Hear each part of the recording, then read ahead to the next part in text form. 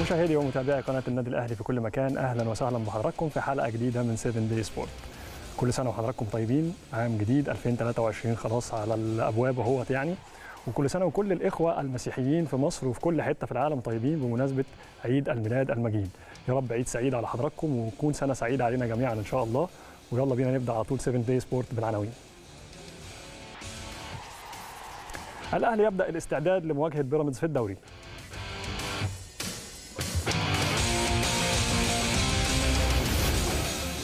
قادرون باختلاف الأهلي دائما في الموعد.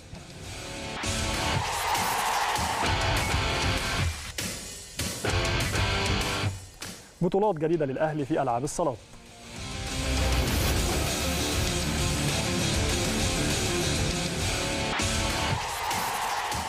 منتخب مصر للشباب وحلم التأهل لكأس العالم.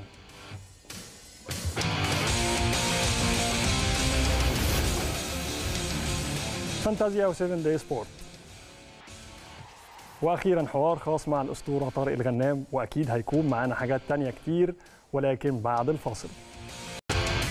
ورجعنا لحضراتكم بعد الفاصل عشان نتواصل ونكمل أخبارنا في 7 Day Sport وهنبدأ من عند النادي الأهلي. مباراة سيراميكا خلاص انتهت وإحنا بنستعد دلوقتي لمباراة بيراميدز. خلاص اللي فات في ملاحظات من حضراتكم وفي ملاحظات واضحة جدا.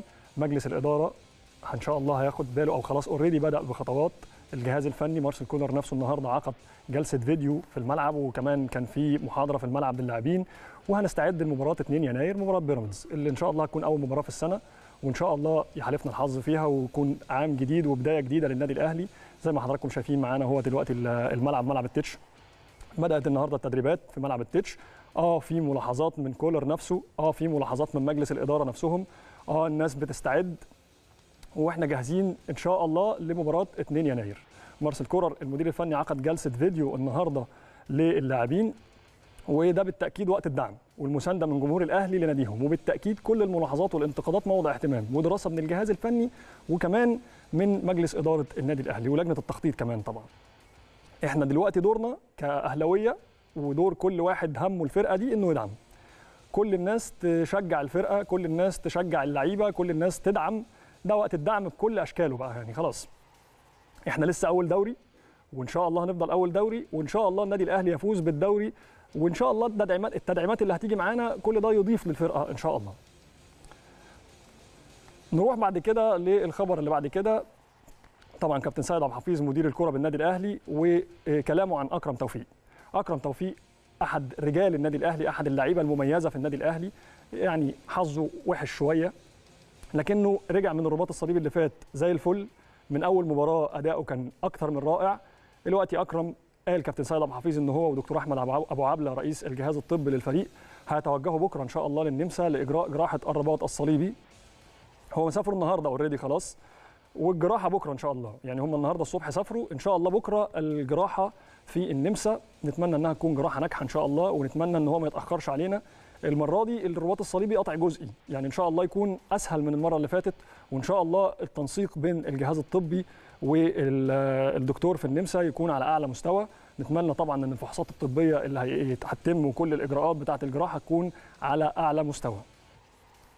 نروح بعد كده بقى لخبر رائع. إمبارح كانت الاحتفالية السنوية الرائعة والراقية جدا تحت شعار قادرون باختلاف. وشهدت طبعا كالعادة حضور فخامه الرئيس عبد الفتاح السيسي اللي من أول يوم بيهتم جدا بذوي الهمم ودعمهم في كل المجالات. وكان في حوار إنساني رائع بين فخامة الرئيس وأبنائنا من ذوي الهمم. لكن أحد أبنائنا بقى من ذوي الهمم طلب في كلمته مع فخامة الرئيس الانضمام للنادي الأهلي. والحقيقة إن الكابتن محمود الخطيب فورا أصدر تعليماته لإدارة النشاط الرياضي بتلبية رغبة الابن العزيز ومتابعة الأمر. وده بيأكد إن النادي الأهلي دائما في الموعد ودائما مع الدولة في تمكين أبنائنا من ذوي الهمم رياضيا ودعمهم في نشاطاتهم الرياضية.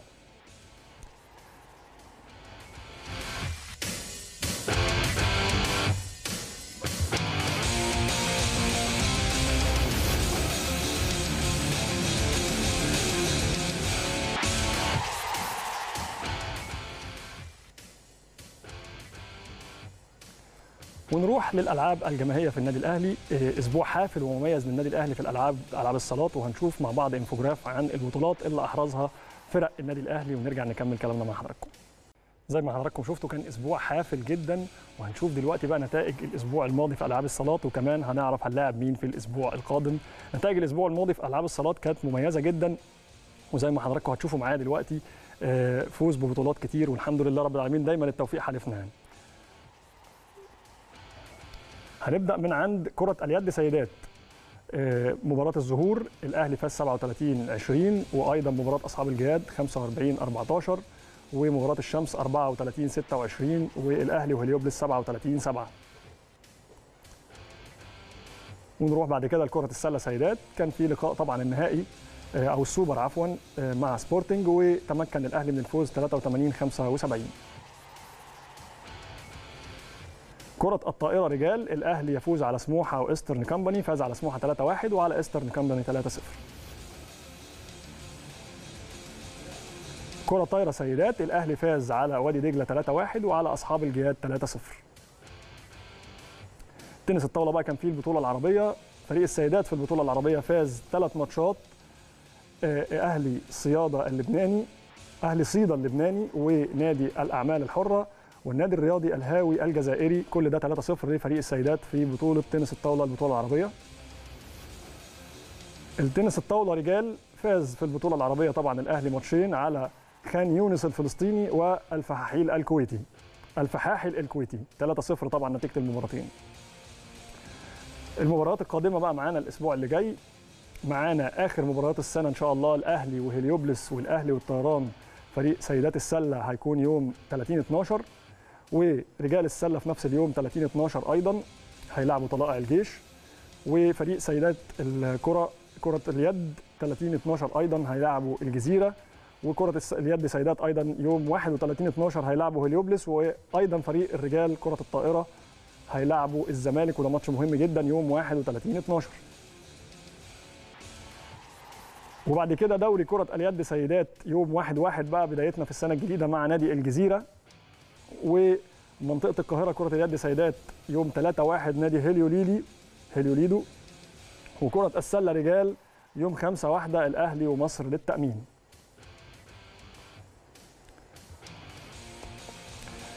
هنطلع فاصل ونرجع نتواصل مع حضراتكم عشان نكمل أخبارنا في 7 Day Sport.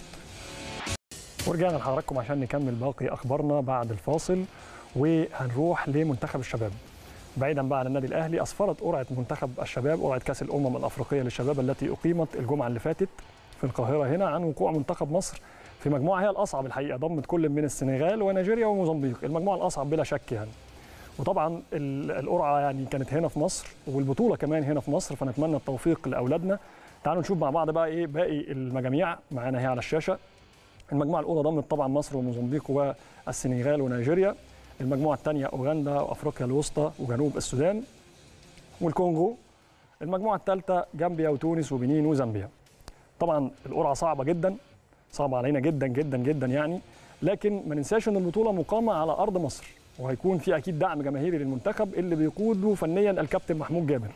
وبالتالي مفيش أعذار لازم نكسب ولازم نصعد لكأس العالم وأتمنى إنها تكون بداية الاستقدام للمحترفين المصريين الشباب في أوروبا اللي عندهم جنسية مصرية لأننا عندنا محترفين كتير جدا وممكن يفيدوا المنتخب الوطني.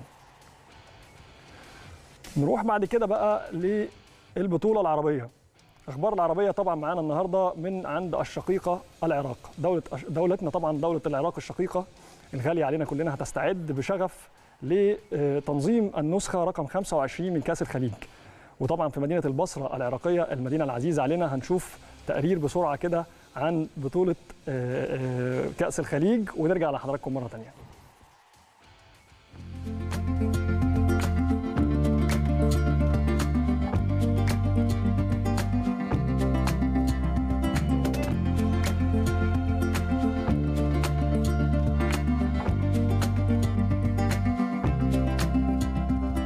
أيام قلائل على انطلاق العرس الخليجي الذي ستستضيفه محافظة البصرة في العراق الشقيق. بلد العلم، بلد الحضارة، بلد التاريخ، بلد الثقافة.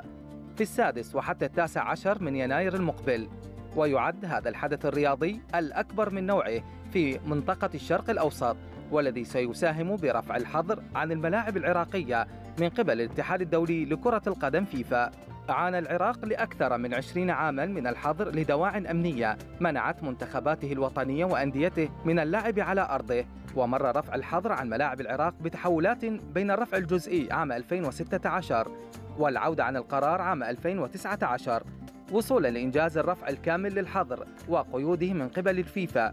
في شهر شباط فبراير من عام 2022 أكملت البصرة تحضيراتها فالتجهيزات انتقلت من الملاعب المستضيفة لمباريات خليج 25 والمرافق الرياضية إضافة إلى المطارات والطرق المؤدية إلى الملاعب والفنادق ودور السكن للراغبين بمساندة منتخباتهم والقادمين من مختلف دول الخليج المشاركة في البطولة وأيضا الجمهور العراقي الذي لا يغيب عن المناسبة الكروية المهمة تزينت شوارع البصرة وميادينها بأعلام دول الخليج العربي وعبارات الترحيب بالمنتخبات المشاركة اهتماما كبيرا بالبطولة والرغبة في إنجاحها وإظهار قدرة العراق على التنظيم المميز لها. تضم مدينة البصرة ملعب يتسع لستين ألف متفرج بتصميم معماري رائع. أثمرت جهود العراق وتحركات عدنان درجال رئيس اتحاد كرة القدم الحالي وزير الشباب والرياضة السابق جهودها بزياراته وتحركاته من أجل رفع الحظر عن الملاعب العراقية والتي أبدى خلال زيارته إلى مقر القلعة الحمراء بسعادته البالغة لتواجده في أهم المؤسسات الرياضية والتي أشاد فيها بالعلاقة التي تربطه بالكابتن محمود الخطيب واصفا إياه بالأسطورة الكروية والإدارية التي يجب أن يحتذى بها والذي وصف أيضا نجاحات الأهلي بأنها فخرا لجماهير الكرة في العالم العربي. كل الأمنيات والتوفيق للعراق العظيم بنجاح البطولة التي يحتضنها لتكون فاتحة خير لعودة الروح في الملاعب الرياضية إلى سابق عهدها.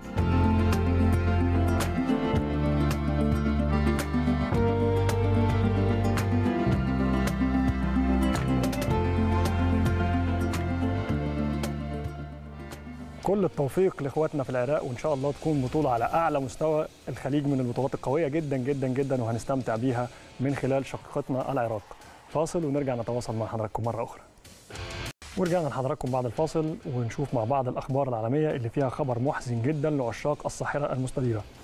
النهارده استقبلنا خبر على مواقع التواصل الاجتماعي عن تحضير نادي سانتوس لإحياء جنازة النجم البرازيلي الكبير بيليه. رغم إن هو لا يزال على قيد الحياة بيليه الاسطوره البرازيلية يعاني من مشاكل صحية كبيرة كما تم تجهيز ملعب أوربانو كالديرا الملعب الرسمي لنادي سانتوس البرازيلي بخيمة كبيرة استعدادا لمراسم العزاء التي سيتم الإعلان عنها فور وفاة بيليه. من جانبه تمنى النجم البرازيلي روماريو الصحة لبيليه قائلا العالم يصلي من أجلك. ودخل بيليه صاحب ال 82 عام إلى المستشفى في سان باولو في نهاية الشهر الماضي وهو يعاني من سرطان في القولون. أيدينيو ابن بيليه كتب على تويتر أبي قوتي لك وكالات الأنباء في دولة بيرو كتبت عالم كرة القدم يدعو للملك. راديو فنزويلا كتب بيليه يكمل شهرا في المستشفى. يعني كل امنياتنا آه لبيليه إن هو على الأقل يكون يعني مستحمل اللي هو فيه دلوقتي. المرض صعب جدا وهو بقاله أكتر من شهر دلوقتي في المستشفى. آه عالم كرة القدم كله هيحزن بوفاة هذه الأسطورة. بيليه هو واحد أو هو الوحيد في العالم اللي خد ثلاثة كاس عالم مع منتخب البرازيل.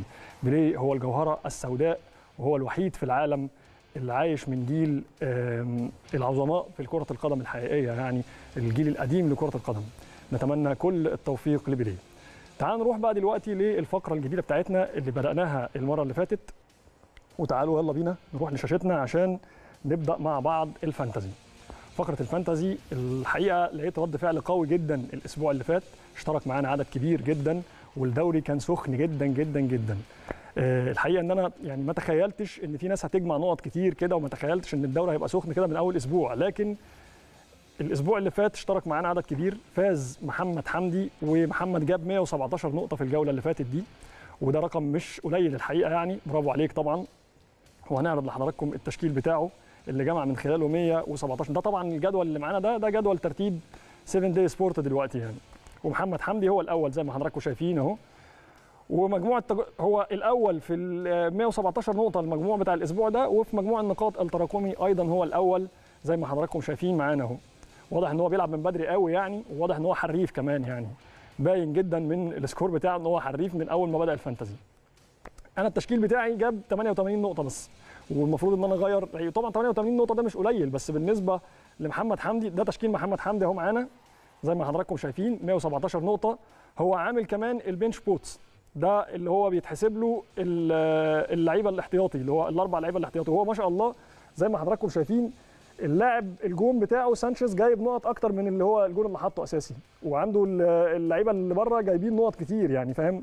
هو ما شاء الله واضح إن هو حريف جدا تشكيل قوي جدا منه الحقيقة. هو جازف ولعب جيمس وهو مصاب لكنه لعب لاعب مانشستر لاعب تشيلسي آسف. زي ما حضراتكم شايفين تشكيل قوي الحقيقة يعني. راشفورد جايب له score عالي هو كان مكابتن هالاند هالاند جاب 26 نقطة حاطط كين كين برده جايب 7 نقط. عامل تشكيل ألميرينو مثلا من نيوكاسل جايب له 8 نقط. تعالوا نشوف كمان التشكيل بتاعي اللي إحنا المفروض نغير فيه واحد بس ده التشكيل بتاعي أهو. أنا مش عارف لسه هغير مين لكن غالبا هحط راشفورد لأن هو جايب score كويس أو ممكن أحط برضه حد من مانشستر سيتي بس جريليش جاب لي score حلو والله جايب 9 نقط أهو. هالاند أنا مكابتنه جايب 26 نقطة صلاح ما خذلنيش جايب 12 نقطة أحرز هدف وصنع. التشكيل حلو بصراحة برضه مش عارف أغير مين بس يعني الأسبوع اللي جاي بقى هنشوف مع بعض. قبل ما نبدأ أنا غيرت مين يعني. يعني أنا استمتعت معاكم بلعبة ال fantasy الحقيقة وما كنتش متخيل إن العدد ده هيجي بالشكل الكبير دوت من أول مرة نعمل فيها ال fantasy يعني. بس إحنا مكملين زي ما اتفقت مع حضراتكم من الحلقة اللي فاتت إن ال fantasy هتبقى معانا في كل حلقة من حلقات 7 Day Sport دلوقتي هنطلع فاصل ونرجع نتواصل مع حضراتكم مرة أخرى في 7 Day Sport ورجعنا لحضراتكم عشان نستقبل واحد من أبرز أساطير النادي الأهلي في كرة السلة الأهلاوية والمصرية على مر التاريخ الكابتن الكبير ونجم النادي الأهلي كابتن طارق الغنام نجم الجيل الذهبي في تاريخ كرة السلة الأهلاوية والمدير الإداري الحالي لسلة النادي الأهلي في الوقت الحالي طبعا. وهنتكلم معاه عن موضوعات كتير جدا لكن الأول نرحب بيه كابتن طارق الغنام مرحبا بيك.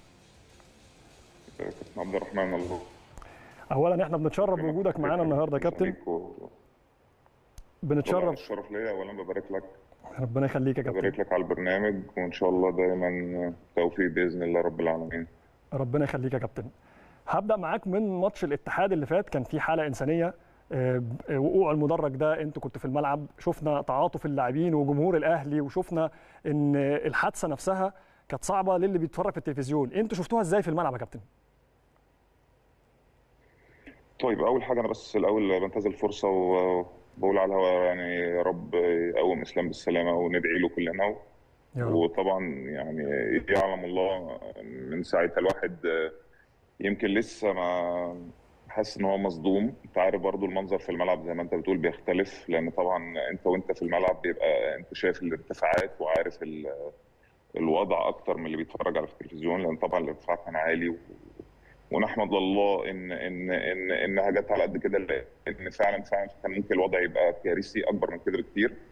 أه نتمنى له السلامة يا رب ويقوم وبندعي له من قلبنا. والله يعلم الله ما مدى كل صلاة وكل الناس لأن دي حاجة طبعا نتمنى إنها ما تكونش موجودة عندنا في ملاعب. ربنا يقومه بالسلامة يا رب يا رب إن شاء الله. طيب الموقف الإنساني اللي شفناه من أول مجلس إدارة النادي الأهلي بلاعيبه النادي الأهلي بجمهور النادي الأهلي والتلاحم اللي حصل وكله راح على المستشفى جري عشان نشوف مصابين جمهور الاتحاد. الموقف ده لعيبه النادي الأهلي اللي خدوه ولا إدارة النادي الأهلي؟ الموقف بدأ إزاي أصلا في الملعب؟ يعني أنتوا خلاص شفتوا المنظر المنظر مرعب من التلفزيون يا كابتن. أنتوا بقى في الملعب وأنتوا شايفين المنظر ده خضة اللعيبة ومروحه اللعيبة بالجهاز الفني بمجلس الإدارة كله دول اتحطوا في موقف صعب جدا في الملعب. حالة إنسانية طبعا هي في الأول وفي الأساس هي دي الرياضة يعني. يعني طبعا طبعا أكيد في في المصايب والشدائد بتبان معدن الناس وده اللي إحنا شفناه وما كانتش هتبان في الإنسانيات في الوقت ده هتبان إمتى. طبعا هي لحظة يمكن عقبال ما الواحد بص كان يمكن ما خدش الموضوع أكتر من في الواقع ما خدش أكتر من كذا ثانية معدودة يمكن اللعيبة كلها بالكامل. طلعت تجري الجماهير بنبص ما لناش جماهير كله طلع يجري. أنا بشكر فعلا جماهير الأهلي وبشكر يعني لعيبة الأهلي ومجلس إدارة الأهلي يمكن جري والله ربنا اللي يعلم. يعني يمكن في ناس مش عايز أتكلم عليهم يمكن كان كل ما ابص لهم الاقيهم واقفين ورانا أصلا مش موجودين يعني في الصورة مش عايزين نتكلم هم مين. بس اللي أنا شفته إن كل اللي كان موجود من جماهير النادي الأهلي يمكن عمالين يشاوروا لنا ونلغي الماتش و... وجري على ال... ويطلبوا إسعاف و... وهرج ومرج كله ناحية جماهير نادي الاتحاد بسبب يعني مش عايز أخص في تفاصيل عشان ما, ما يمكن ما, ما, ما نجرحش في حد وما نقولش كلام نحاسب عليه. لكن أنا بشكر الجماهير سواء الأهلي أو الاتحاد أو اعضاء مجلس الإدارة سواء الأهلي أو الاتحاد يمكن كل الناس اللي كانت فعلا جوه الملعب جريت من غير ما تفكر إيه اللي بيحصل غير إنها تنقذ الناس وتشوف لأن المنظر مش طبيعي. يمكن لأن أنا بحكي لك على 50 60 70 مش راجل بيحاولوا بس يرفع يطمنوا إن مفيش حد تحت الإعلان أو تحت المدرج اللي وقع لو قلت لك مفيش حركة ما بيتحركش. يعني الحمد لله رب العالمين حاجات على كده فعلا. ربنا يعني عايز أقول سطر يعني يعني تكمل إن شاء الله. وإسلام يوم لنا بالسلامة وإن شاء الله يبقى لينا كلام تاني بإذن الله رب العالمين. ده ستر من عند ربنا يا كابتن. المنظر مرعب في التلفزيون ما بالك أنتوا في الملعب شايفينه إزاي؟ ده ده تجسيد. حقيقي فعلا يعني. للروح الرياضية وتجسيد لقيمة الرياضة في مصر. أول ناس كانوا كابتن مع كابتن محمد مصلح أنتوا يعني. طبعا والله الناس كلها نسيت كل حاجة في لحظة. ما حدش فكر غير في المصيبة واللي بيتشاف وإزاي ننقذ وإن شاء الله نطلع من غير أي مشاكل. هو ده كل اللي جه في تفكير الناس في لحظة يعني ما حدش حتى يعني كان كل الكلام حتى بينا وبين بعض وهنعمل واللي يلحق ونروح ما حد أكننا يمكن أنتوا كنتوا قبل الأستاذ محمد مصلحي في المستشفى تقريبا بمجلس إدارة النادي الأهلي يعني. بالظبط بالظبط بالظبط بالظبط. يعني فعلا الواحد كل ما يفتكر بي بي بيحزن يعني بيحزن الموقف. دايما الصورة تفضل قدام عين الواحد المدرج وهو بي بيتقلب وبيقع. طبعا يعني ربنا يكون في عون الناس ويا رب يقويهم كلهم بالسلامة. رب طبعا مش عايز أتكلم على إحنا هم بيحسبوا اللي ضلعه مكسور واللي رجله مكسورة والحاجات دي ده كده سليم كده طلع يعني ما عندوش مشاكل يعني. ف يعني من من كتر الفجعة وكتر ال ال ال ال الحادثة يعني واخدين الصورة على الهواء هو كابتن شايفين بنفسنا. آه. آه لا الموضوع كان طبعا من الملعب. طبعا المدرج اللي فوق ده عالي يعني حامل الكاميرات اللي واقع ده ده عالي ده فوق يعني إحنا بنبص له مثلا أكنه في الدور الثاني أو الثالث أو يمكن أعلى من كده كمان. الحمد لله الحمد لله رب العالمين جت على قد كده بالظبط بالظبط. الحمد لله رب الحمد العالمين. لله. طيب الحمد لله رب. هنسيبنا بقى من الحادثة دي. الحمد لله ربنا عداها على خير. ونروح بقى للنادي الأهلي في الموسم اللي فات. إحنا شفنا موسم كان بقالنا كتير ما شفناش فرقة الباسكت بالشكل ده. خدنا دوري السوبر كان بقالنا فترة كبيرة ما خدناهوش. الحمد لله عملنا كمان كل البطولات بشكل جيد جدا وخدنا معظمها. ربنا كرمنا جدا جدا جدا الموسم اللي فات ده وشفنا إدارة كرة السلة على أعلى مستوى في الموسم ده كابتن الحقيقة يعني عايز أعرف تعليقك وعايز أعرف كمان موسم في وجود اجوستي يعني اللعيبة دي موجودة من قبل كده. الإدارة كانت مساهمة بجزء كبير المديرين الفنيين اللي فاتوا كانوا مساهمين بجزء كبير. لكن انت بقى التوليفة اللي حصلت في الموسم اللي فات اللي خلت الوضع اللي إحنا فيه ده كويس دلوقتي؟ طبعا يعني هو موسم استثنائي بكل المقاييس. بشكر اللعيبة طبعا رجالة وعملوا موسم يمكن من أحد أحلام حياة الواحد إن يبقى في موسم يقدر يحققه بالمنظر ده.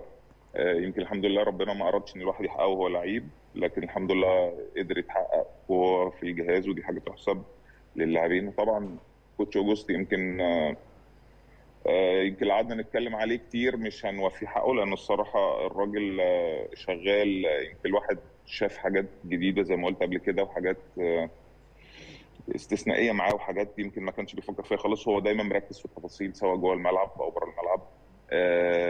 يمكن ما بيفوتوش حاجة زي ما بقول. دايما يحسب له إن هو طبعا بيلعب بالناشئين وبيستعين الناشئين إحنا النهارده عندنا ناشئين عندها 17 سنة بتلعب جوه الملعب وبتلعب أساسي ودي حاجة طبعا تحسب. وهو طبعا من ال... يعني عمل توليفة طبعا. يمكن زي ما أنت كنت بتقول كان في لعيبة موجودة قبل كده وطبعا يحسب للمدربين السابقين اللي قبل كده طبعا على على راسهم إن هم تعبوا وجابوا المجلس الإدارة. دايما صراحة ما بيأخرلوش أي حاجة يمكن أي حاجة بيطلبها هو هي موجودة. والحمد لله رب العالمين معاه جهاز كويس ومعاه لعيبة رجالة وقدروا يعملوا موسم إن شاء الله نتمنى يتكرر بإذن الله رب العالمين. إن شاء الله نستمر في اللي إحنا فيه ده يا كابتن يعني كرة السلة من الحاجات المفرحة جدا لجمهور النادي الأهلي. طيب عارف. آه عارف. أنت علاقتك بالمحترفين مميزة جدا بتتعامل معاهم بشكل نفسي عالي جدا. المحترف اللي فات عندنا حتى وقت الكورونا كان ليه موقف كده عايزك تذكره لي برضو على الهوا. وانت شجعته إزاي انه يبقى موجود في مصر في الوقت ده؟ شجعته إزاي انه يبقى مكمل في النادي الأهلي بالطريقة اللي هو عرضها هو من نفسه على النادي يعني؟ لا صراحة بص إحنا يعني الحمد لله رب العالمين يمكن أي محترف بيجي آه عايز أقول لك بنعتبره يعني فجأة بتلاقيه بتتعامل معاه إن هو فعلا واحد من الفرقة. يعني آه يمكن مش قال أنا هتكلم على الأسماء ال- ال- البسيطة كده. موضوع أليكس إن هو أليكس يونغ كان موجود معانا ساعة الكورونا وطبعا أنت عارف الأحداث اللي حصلت وموضوع المرتبات اللي كان فيه مشاكل وهو من نفسه جل وما رضيش ياخد مرتب الفترة اللي كان فيها توقف. بكل حيادية يعني وبكل بصراحه الراجل يعني من الحاجات اللي الواحد شافها تحسب له. وأنت عارف برضه هو سمى بنته كايرو هو ارتباطه بمصر والنادي الأهلي صراحة أنت علقته بمصر كمان لدرجة إن يعني- بنته بقى اسمها كايرو. آه آه صراحة هو فعلا كان كان شخصية كويسة جدا وكان يمكن لعيب مميز جدا ومن اللعيبة ال- القليلة اللي جت مش عايز أقول قليلة يعني من أحسن المحترفين اللي جم للنادي الأهلي يعني في كرة السلة. فهو طبعا يمكن مش هو بس يمكن عندنا كمان يمكن تومسون السنة اللي فاتت آه، يمكن هو بعد البطولة وكان بيحضني وبيقول لي يعني آه، أنا عايز أقعد معاك ونكسب تاني وأمضي سنة كمان ومش عايز أمشي. حتى لما جبنا محترف زي أمين روزيق مثلا فعلا إحنا بنعامله امين روزيق ده مصري إحنا ما بنعاملوش كتونسي. فدايما أي محترف بيخش فعلا فعلا بيرتبط بالنادي الأهلي جدا بيرتبط بالفرقة جدا. المعاملة خلاص بقى الموضوع يعني يمكن إيه كل طول طبعا طول ما أنت مريحه وطول ما هو طلباته وطول ما هو بيعمل اللي عليه فارتباطه بالنادي الأهلي وجماهيره طبعا جماهير النادي الأهلي هي ممكن تخلي أي حد في أي حتة تانية يعني طبعا بسبب إن هو عارف مجرد ما ما بيأدي بشكل المطلوب أو بي بي بيحسس الناس أو بيحسس الفرقه إن هو قلبه على الفرقة وقلبه على النادي وقلبه الجمهور الجمهور بيرفعه للسماء سماء. يعني ودي مميزات صراحة المحترفين الحمد لله رب العالمين نتمنى إن ده الوضع يفضل قائم بنفس الوضع يعني. إن شاء الله أبو الكباتن. وأنت علاقتك مميزة باللعيبة كلها. أنت عامل يعني توليفة حلوة كده بين علاقتك بيهم وبين بعض بالأجانب والمصريين يعني. طيب عايز منك كلمة بمناسبة السنة الجديدة بقى لجمهور النادي الأهلي. كل سنة حضرتك طيب طبعا الأول. وعايزك تقول لي كلمة. بمناسبة السنة الجديدة للجمهور. طبعا أول حاجة بقول لهم كل سنة وأنتم طيبين. آه، ويا رب دايما نحاول نساعدهم على قد ما نقدر. عايز أقول لهم إن إحنا فعلا إحنا يمكن حياتنا كلها أو شغلنا كله ده في النادي الأهلي الهدف اسعاد الجماهير. بطلب منهم دايما واقفين ورانا واقفين مع اللعيبة واقفين مع مجلس الاداره هو ده اللي فعلا هيخلينا نقدر. أي حاجة تانية سهلة. أهم حاجة اسعاد الجماهير أنا بشكرهم وبقول لهم بنوعدكم إن دايما نعمل اللي علينا. وسامحونا لو في أي تقصير. آه، يعني وإحنا بإذن الله رب العالمين نوعدكم إن أقصى مجهود وأقصى حاجة ممكن نعملها عشان اسعادكم وكل سنة وأنتم طيبين ويا رب دايما نحاول نبقى عند حسن ظنكم يا رب. شكرا كابتن طارق ويعني كانت مداخلة مميزة جدا من حضرتك بشكرك عليها جدا جدا جدا. وأنت يعني من الناس اللي قليلة الظهور الحقيقة لكن أنا بتشرف بحضرتك في 7 Day Sport شكرا كابتن طارق. هنروح مع بعض بقى للقطة الأسبوع وهي لقطة خدناها من واحد من الجيل العظيم للنادي الأهلي والمنتخب مصر الحقيقة يعني كابتن وائل جمعة. كان آه، في قطر وشاف دروجبا. ديديه دروجبا طبعا إحنا كلنا عارفين الأسطورة أيضا الايفواريه ديديه دروجبا أحد أفيال المنتخب الكوتيفواري في عزه يعني وكابتن وائل جمعة من الجيل اللي حصد الثلاثية وكل البطولات والكلام ده كله. إنما هم كان بينهم هزار لذيذ جدا كابتن وائل جمعة شاف دروجبا دروجبا بقى أقرع وكابتن وائل جمعة اللي دايما كان بيحلق شعره أقرع بقى بشعر. فموضوع قلب بكوميديا كده. أنا وأنا بتفرج على اللقطة دي ضحكت قوي يعني. الاثنين اتعكسوا يعني. ديديه دروجبا كان دايما شعره طويل قوي كده ودايما كان ليه ستايل في الملعب وبتاع وكابتن وائل جمعة كان دايما حالق راسه. مش يعني سبحان الله سبحان الله يعني مجرد ما بطلوا كابتن وائل جمعة من المدافعين اللي طبعا عقدت الراجل ده. يعني الاثنين دول كان بينهم منافسة في الملعب شرسة جدا. كابتن وائل جمعة تقريبا كان من ضمن عقد الراجل ده من ضمن عقد ديديه دروجبا لكن بص بقى بره الكورة بقى. كابتن وائل جمعة طبعا شخصية من الشخصيات الكاريزما جدا والمحترمة جدا جدا خارج الملعب وجوه الملعب طبعا رغم إن هو لاعب فايتر ومقاتل دايما. إنما زي ما أنتم شايفين كده آه، الحالة بينهم كانت استثنائية جدا والهزار على موضوع الشعر ده آه، كان جميل قوي يعني. آه، حاجة كده يعني ما بتحصلش غير لما يبقوا اتنين احترموا بعض في المنافسة واحترموا بعض بره الملعب أيضا هما الاثنين كابتن جمعة بالنسبة لجمهور الأهلي هو قيمة كبيرة جدا يمكن من أعظم المدافعين اللي جت في تاريخ النادي الأهلي. زي ما أنتم شايفين كده الفيديو كان لذيذ قوي لقطة أسبوع لذيذة جدا. حتى كابتن وائل جمعة نفسه شرح على ال social media الفيديو ده هو نفسه ضحك. الموضوع كان مضحك جدا جدا يعني. كالعادة كابتن وائل جمعة بيسعدنا يعني سواء جوه الملعب أو خارج الملعب. وبكده تكون خلصت حلقتنا ودي كانت آخر حلقة السنة دي في سنة 2022 يعني نتمنى إن إحنا نشوفكم على خير السنة الجاية إن شاء الله في أولى حلقاتنا في 7 Day Sport في 2023 ونتمنى إن إحنا نكون كنا خفاف عليكم السنة دي ونكون ضفنا ولو جزء بسيط لجمهور ومتابعي شاشة قناة النادي الأهلي من خلال 7 دي سبورت. أتمنى إن شاء الله أشوفكم على خير في بداية السنة الجاية وكل سنة وحضراتكم طيبين وفي الختام خير سلام